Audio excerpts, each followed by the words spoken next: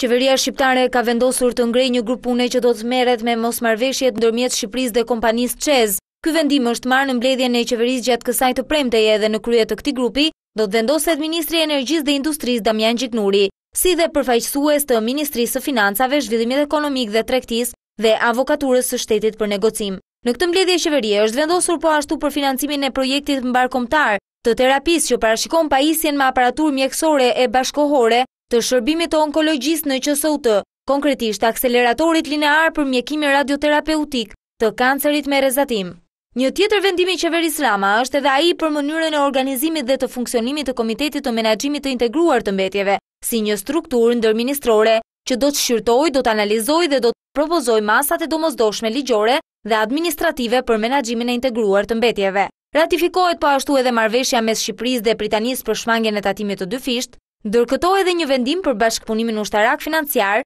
ndërmjet Shqipërisë dhe Turqisë për pajisje ushtarake. Qeveria ka marrë vendim gjatë kësaj të premteje edhe për lirimin nga detyra të zotit Zhani Ciko dhe emërimin në detyrë të drejtorit të përgjithshëm të Teatrit Kombëtar të Operas, Baletit dhe Ansamblit Popullor, zoti Ilir Kërni. Rubens Shima po ashtu lirohet nga detyra dhe me vendim të qeverisë, emërohet në detyrë të drejtorit të Galerisë Kombëtare të Arteve, zoti Artan Shabani. Po ashtu, vendim është marrë edhe për marrjen e masave për sigurimin fizik dhe garantimin e ushtrimit të funksioneve të drejtorit të Njësisë së Mbikëqyrjes së Lojërave të Fatit.